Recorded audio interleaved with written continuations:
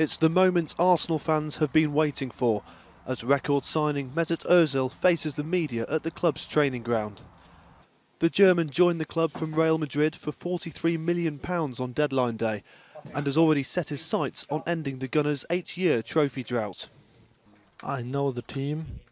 I know what talent we have here, and I think every player wants to be successful. And Arsenal is one of the biggest clubs in the world, and we definitely want to achieve something with this team. That's what we work for very hard. Of course, it will be very difficult because the league is the strongest in the world, very balanced, but we will give everything to have success. I'm really glad to play in the best league in the world, and I want to prove myself in England, and therefore I look forward to playing here. Manager Arsene Wenger admitted he was surprised he signed Ozil and believes the playmaker will only improve at the Emirates.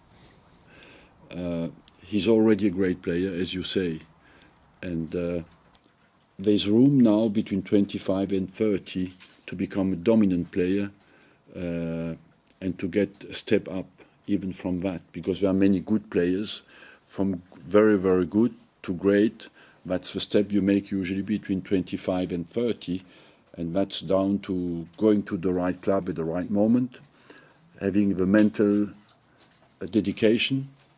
That makes a difference between 25 and 30. That's the major difference now. And Ozil even had time for a quick word in English to endear himself to the Arsenal faithful. I'm a gunner.